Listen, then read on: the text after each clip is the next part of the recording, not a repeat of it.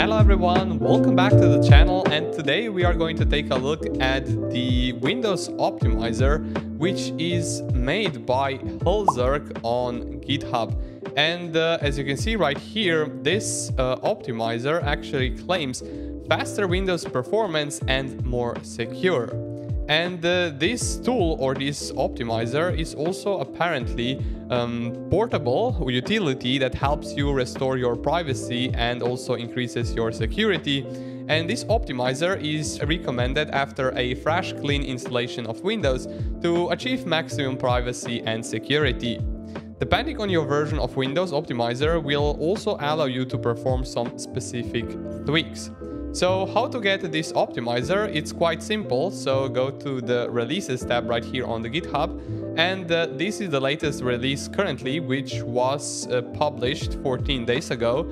So the version is 12.0. So to get the file, you will simply click here on the optimizer 12.0 exe file and then the download will probably start.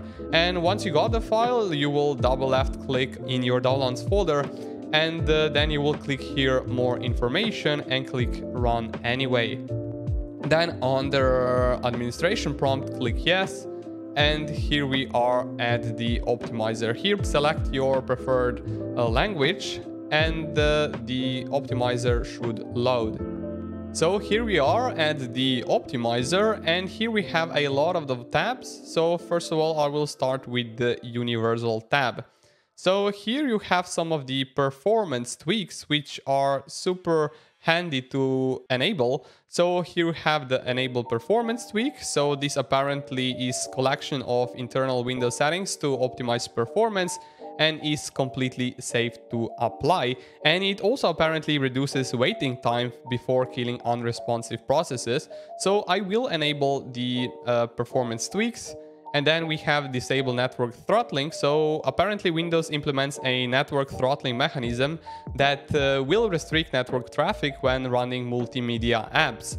So you can also disable or enable enable the feature that will disable network throttling and I will also disable Windows Defender but this feature uh, unfortunately doesn't work right now because Windows Defender cannot be disabled on Windows uh, 11 and of course if you have Windows 10 version 1903 and higher. And here we also have disable system restore point, so I will enable this feature, disable error reporting, disable this uh, or enable this, and also you can disable telemetry task. So telemetry services periodically sends usage and performance data to Microsoft for future improvements, so you can disable sending the this data to Microsoft. Of course, you can disable telemetry for Office and Visual Studio as well. So if you are using that, I highly recommend that you disable both of those. So you have here on the right side, you have disable print service. You can disable this, disable fax service. If you don't use the print or fax, you can uh, easily disable all these features. So disable media player sharing. You can disable that, disable sticky keys, disable that, disable home group, disable, disable superfetch. So superfetch preloads commonly used apps to RAM, causing high disk usage, especially on HDDs. You can disable that and disable compatibility assistant, which you can also disable. Then we have disable Mozilla Firefox telemetry. So if you are using Mozilla and Google Chrome, you can disable both of these uh, features right here. So this is pretty much it for the Universal tab. Right now, let's move on to the Windows. So these features are only available to Windows 11. So restore classic Windows Explorer you can enable and it will change a look of your file explorer. Then we have disable start menu ads, but I probably didn't saw any of the ads on the start menu of Windows 11 most of them were on Windows uh, 10, so I will disable the start menu ads just for precautions. And then we can also, which I found quite interesting, uninstall OneDrive. So you can uninstall OneDrive. Um, and then you have a lot of the options right here. For example, interesting one is disable TPM 2.0 check, uh, which you can disable if you have, for example, unsupported device. And you can also disable future updates which are probably major releases of windows such as from 10 to windows 11 for example. Um, and then i recommend also that if you are for example not using xbox services on your windows machine you can also disable xbox live and also if you are not using the drawing pad on your windows machine you can also disable that as well. And disable my people which i think was also introduced in windows 10 you can disable that. Enable long paths i will enable that. And disable spell checking so touch keyboard only features which are like auto correction text suggestion and spell check. You can disable that as well then under the this at the bottom settings you have here an option to align taskbar to the left if you want to but i don't want to. So here we have also disable snap assist disable widgets and disable chat so I can disable that and disable snap assist are this uh, options right here if you want to disable them. But first thing which you are going to do is uh, click on disable snap assist and then you want to restart your file explorer. So if you go to the task manager, for example, then you will scroll down and here you will see Windows Explorer and then you will click restart and the snap assist shouldn't work. So as you can see, it doesn't right now but I think this feature is quite useful, so I wouldn't see the point why would you disable it. So here you also have an option disable automatic updates if you want to disable them, exclude drivers from update, disable telemetry services, enhance privacy, disable cloud clipboard, disable Cortana, disable sensor services, remove cast to device, disable game bar and disable insider service. Then you can also make taskbar smaller, but uh, also you need to once again uh, restart your file explorer. Um, then you have enable classic ribbon in Explorer and enable classic right click menu. So this is the this menu right here, but before it looked like that. So I will enable that. And then we have here uh, the tab of UVP apps, which are apps that usually that usually came installed from Microsoft Store uh, such as for example, let's say we have Spotify and so on. So here it says that if you uninstall store, you won't be able to install new apps. And some apps cannot be uh, uninstalled. So you can here uninstall a few of the apps you want to, but uh, most of them uh, came also pre-installed with the default installation of Windows.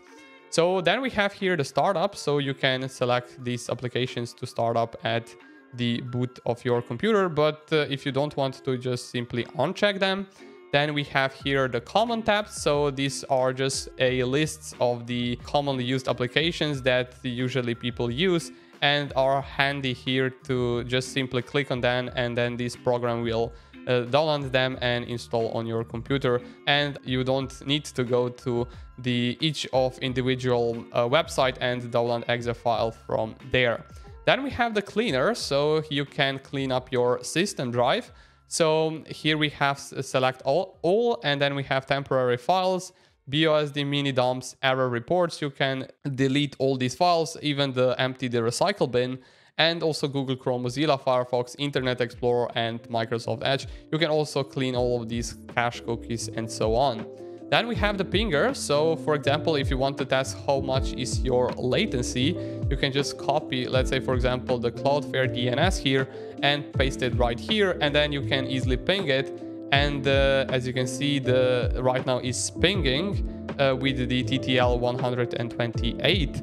And uh, here we have the average, which is 11.78 and minimum and maximum value, which I think is pretty good. So here we also have the host, so you can easily, for example, block a few of the websites based on your uh, computer IP address. So here are some of the pre-made ad blocks. For example, here we have AdBlock Basic, AdBlock Social, AdBlock Ultimate, and so on. So you can, uh, for example, ban a website from your PC. Uh, then we have the registry, so fix common registry issues. I recommend to enable all and also restart file, uh, file explorer to apply ch changes. So you can also enable this as well. And then you can click fix and it should fix common registry issues uh, successfully, of course.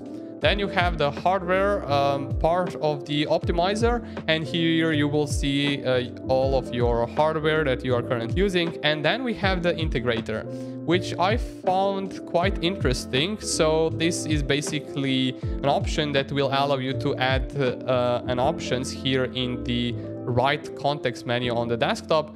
So uh, if you go to here to add and modify, we can select here which uh, is the item type. So for example, program folder, link, file or command.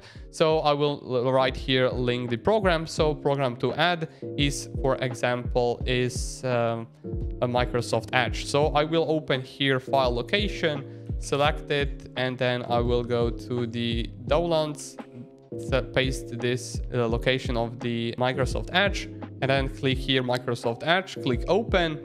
And then icon to add it will use programs icon. And then you can also select here item name in menu. So uh, Microsoft Edge then click add and modify. And if I right click you can see here that we have the Microsoft Edge. And if I click on it it should open the Microsoft Edge so I think this is pretty a pretty good addition to this uh, program. And you can also remove, for example, if you don't want the Microsoft Edge right here anymore, you can simply delete it right here with these options. And then we also have the um, options menu here. So here you can change the theme and change the language. And uh, with all that being said, thank you so much for watching. Uh, and if you haven't already, make sure that you smash the like button because it really helps with the YouTube algorithm. And also, if you are new here, make sure that you hit that subscribe button and uh, join the tech enthusiast community. Have a wonderful rest of your day and I'll see you all in the next video. Peace.